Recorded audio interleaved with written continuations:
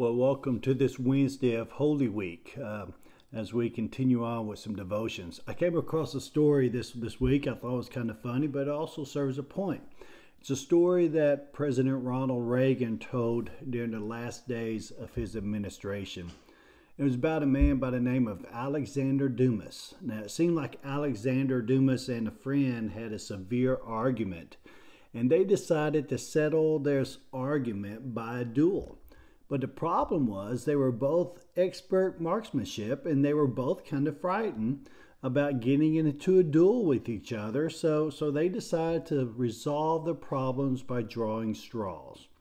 And it seems like whoever drawed the short straw pledged that they would go and shoot themselves. Now, not the best way to settle an argument, but that's what they decided. And so, of course, Dumas was the unlucky one. He drew the short straw. So, so he, he, with a heavy sigh, he picked up his pistol and he went into the library and he closed the door, leaving the company of friends that, that had came to witness this non-duel, so to speak.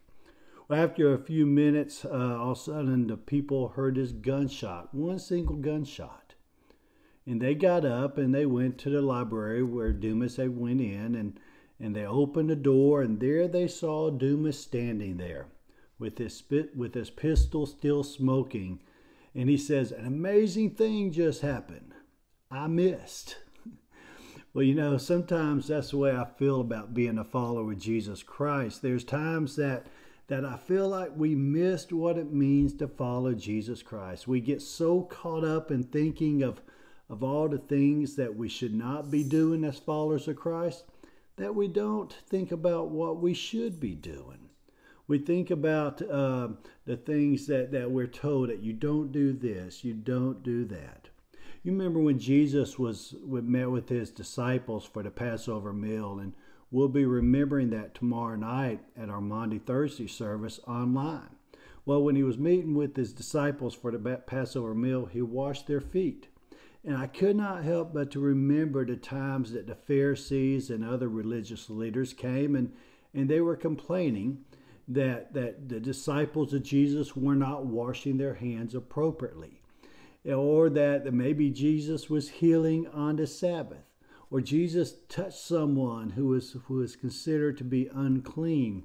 See, they were so concerned about things that we should not be doing, they missed out on what we should be doing.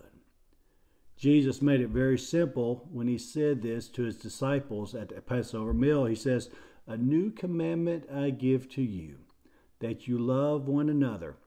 Even as I have loved you, you should love one another. And by this all men will know that you are my disciples, if you have love for one another.